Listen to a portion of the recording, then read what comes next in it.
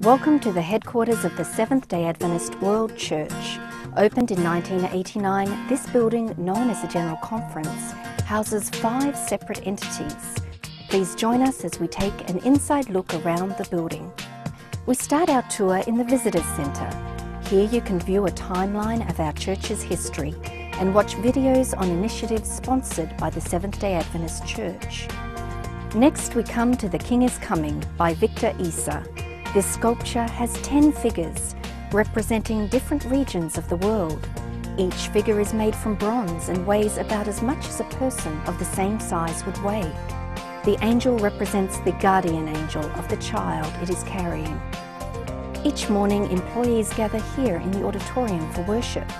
This space seats up to 800 people and is used for meetings, conferences, and video productions.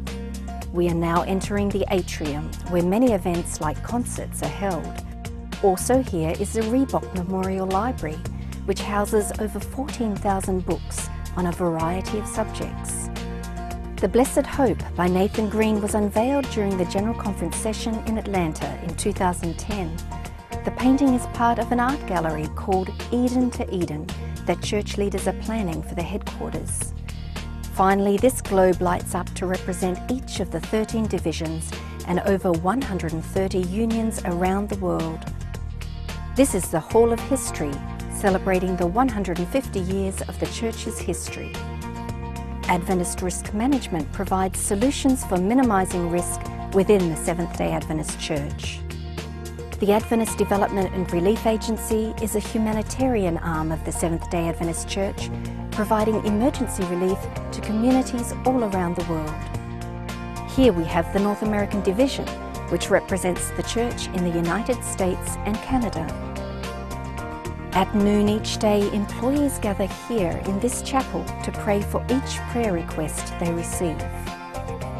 Now we come to the Harry Anderson display, which includes a self-portrait and his personal easel. Harry Anderson is well known for his illustrations in the Bible Stories series and also secular publications.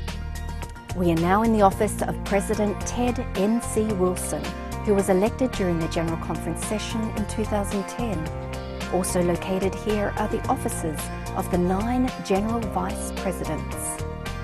The building also includes the offices of hundreds of General Conference employees who work to ensure religious liberty, education, healthcare and more for millions of Adventists worldwide. Hope Channel is the newest extension of the General Conference building.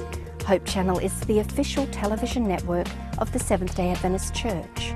This is the studio where they record popular shows like Let's Pray, Cross Connection and Hope Sabbath School.